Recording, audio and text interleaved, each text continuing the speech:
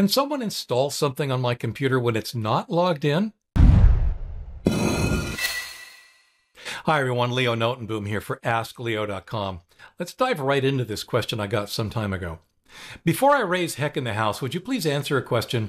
We have several computers in our home. Recently, I have seen Spy PC 7.0 Quick Start Guide in the home. I don't mind if the owner of this booklet uses it on his or her machine, but not on anyone else's. Can this be installed on other personal computers which are usually password locked? The short answer is probably, unless you've taken some additional steps to further secure your system. Naturally, usually locked has me concerned. If it's unlocked and somebody can walk up to it as you then, then they can install whatever they want. Yes. However, even when the machine is locked, and by locked I mean you're logged out or signed out, or there's something that would require someone walking up to the machine to actually be able to type your password or enter your PIN or something, then things aren't quite as additionally safe as you might think they are.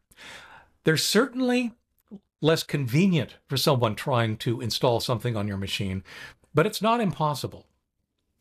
One of the things I want to be very clear about here is that if your computer is not physically secure, then ultimately it is not secure because there are many things that someone can do if they have physical access to your machine. For example, they might walk up to it with a different boot disk. And even while it's not logged in, all they really need to do is say, cut the power, reboot the machine from their boot disk, and now they can do all sorts of things to your hard disk. Or, even worse, someone could steal the hard disk from your machine. I realize that's not the install software scenario you're talking about, but it does represent an additional layer of risk if your computer is in an untrusted environment and it's not got additional physical security associated with it. In recent years, we've even heard of so called USB killers, little devices that, if you plug it into your PC, they can overload the circuitry and cause things to break.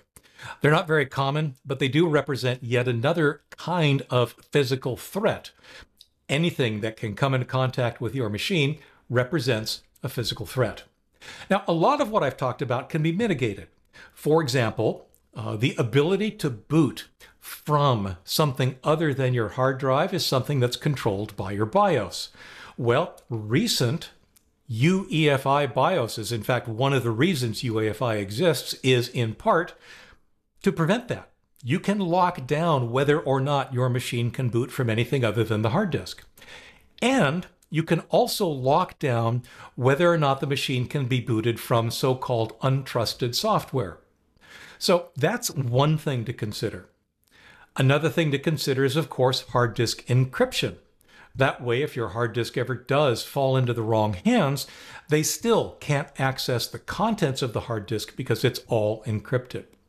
But ultimately, if there really is a concern about somebody, say in a shared living environment, doing something to your computer when you're not present, then the real solution well, there are two solutions. One, get more trustworthy housemates, but the more practical solution is to lock your machine up somehow, be it in a locked room, a locked container, something, so that the entire question of somebody being able to walk up to your machine in any way, shape, or form is simply a non-issue.